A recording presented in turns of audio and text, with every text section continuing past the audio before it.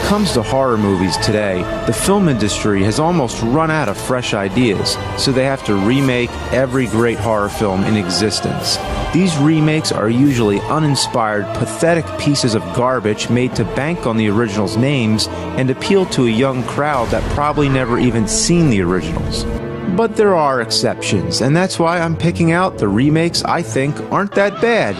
It's Cinemassacre's Top 10 Horror Remakes. Now, bear with me for a moment. I need to set some criteria. What qualifies as a remake? Well, I say any movie that uses an earlier movie as its source material is a remake, whether it makes significant changes or is a shot for shot copy like the remake of Psycho. If it's based on a book or other source material that's already been made into a movie before, that still counts. Evil Dead 2 is a strange example where the first 10 minutes is actually a remake of the first film. That doesn't count, that's a part remake, part sequel. Another thing to consider is that many of the old classics are actually remakes themselves. Dracula, Frankenstein, and Dr. Jekyll and Mr. Hyde all came out in 1931, a monumental year for the genre. These films are considered the originals of their kind, but all the stories were first adapted to the screen during the silent era, and some of them had even more remakes during the black and white period, like Jekyll and Hyde and The Hunchback of Notre Dame, which were excellent. That makes it hard not to fill the whole list with classics, so I need to draw a line somewhere. Let's say it must have sound and it must be in color. That way it represents the full evolution of film. And one last thing for it to make the list, it doesn't have to be as good as the original, just good in itself. Let's get started. Number 10 Halloween. You may say I'm scraping the bottom of the toilet here. This movie gets mixed opinions. It's not as subtle and effective as the original, but it's much better than many of the sequels. After Michael Myers had been turned to a slapstick clown at the mercy of Jamie Lee Curtis in H2O, and then beaten silly by Busta Rhymes in Halloween Resurrection, it was time for him to be reestablished as the king of the slasher villains. Director Rob Zombie paid tribute to the original a lot and didn't offer a whole lot new, but he at least made Michael Myers a threatening and brutal force again. Yes, I do think there are many flaws with this movie, but overall, Zombie gives it a unique vision, it got people talking, and it deserves a number 10 spot. Number 9 The Grudge. It is kind of sad when Japanese horror movies get remade with American actors for the sole purpose of getting Americans to watch them, though The Grudge has the same director as the original. Many would say The Ring is the better remake, but The Ring doesn't get under my skin the same way as The Grudge. I watch horror movies all the time, alone, at any time of night. They usually never bother me. But this one actually scared me senseless. That creepy little boy, the contortionist girl coming down the steps. My god. Yes, it's PG 13, so what? It doesn't need to have gore, cursing, and nudity, it just needs to be scary. Number 8 Night of the Living Dead. Remaking the world's most important zombie classic was unnecessary, sure, but as its own film, it's pretty solid. Tom Savini was in Dawn of the Dead and did the special effects for both Dawn of the Dead and Day of the Dead. For the remake, he's been promoted to director. He gives it a nice touch for a new decade, amplifying the gore and explores the characters in new ways. In the original, Barbara was always crying, screaming, and fainting, but now she's a stronger woman and not so badly stereotyped. There is no reason to remake it, but for any zombie lover, it's still worth seeing. They're coming to get you, Barbara. Number 7 The Texas Chainsaw Massacre. People seem to hate this remake. I've never heard anyone say anything good about it, I smell bullshit. but they're all missing one thing R. Lee Ermey. Get out of the van! He plays a psychotic sheriff who really makes you feel uncomfortable. She ain't gonna bite you. She's dead her in the goddamn doornail. Get a hold of her and pick her up. There's no limit to how sick this guy can be. And then what she do?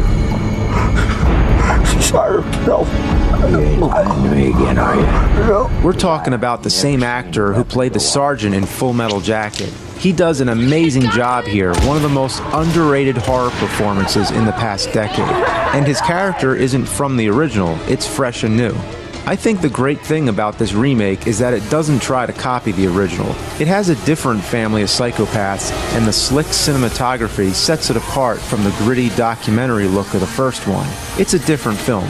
If they would have dropped the Leatherface character and called it something different, it wouldn't have been so shunned. But it wouldn't have made as much money, and that's the problem. Number 6. The Blob.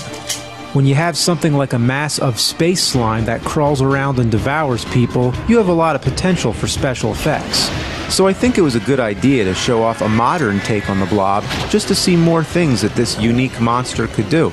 The original was the better movie because the characters were lovable and there was some genuine suspense. You never needed to see the blob that often. If you're watching the remake, you need to put yourself in a different state of mind. This one is all about seeing the blob and the crafty special effects. If it was done any later, there is no doubt the blob would be 100% computer generated. This was still in a time when stop motion and animatronics were being used, so if anything, this movie stands as a testament to this dying art. The original Blob was a charming and fun little time capsule of a movie that represented the 50s, in the same way the new one represented the 80s. Number 5 Dawn of the Dead. When I first heard that they were remaking the most sacred zombie sequel of all time, I lost all hope in humanity. Then I saw the movie, and it was pretty good. The basic concept of the first one is the same, but they took the idea and ran with it. Literally, running zombies? Why not? It's a different movie. It's full of action, suspense, gore, and drama, all the ingredients of a great zombie film. This is another instance when I wish they would have given it a new title rather than giving it the baggage of being a remake. Number 4 The Fly. David Cronenberg upped the ante on the gore in this shocking remake of the 1958 classic about the dangers of scientific discovery. The original movie unfolded like a mystery. You never saw the fly until the very end. But here, there's nothing subtle. It goes straight for the jugular with a gross out factor on max. The special effects are monumentally awesome, which steal the show, but it's backed up by a good script and great acting by Jeff Goldblum and Gina Davis. The scientific rules are changed. Here, we get to see Goldblum gradually become the fly, which was an excellent idea. Everything about you is changing. Oh no, what's happening to me? Am I dying? This is a remake that seems to be universally acknowledged for its greatness. It's gotten the praise it deserves.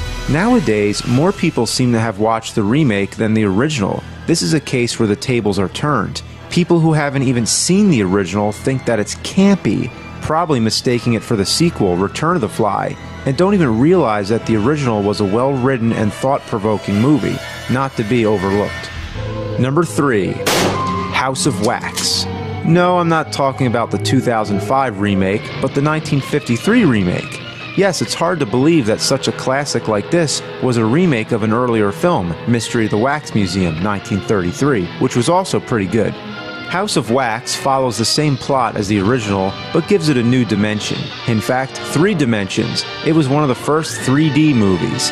Funny how that's come back in style. Vincent Price is fascinating as the tormented artist who goes on a killing spree, dipping people in wax and displaying them in his wax museum. It's a tale of revenge, and in some ways, it's kind of like a comic book. It's colorful, creepy, and all around a grade A horror film. Number 2 The Thing. I think anyone's top remake list would include John Carpenter's vile and gruesome take on the 1951 Howard Hawks classic.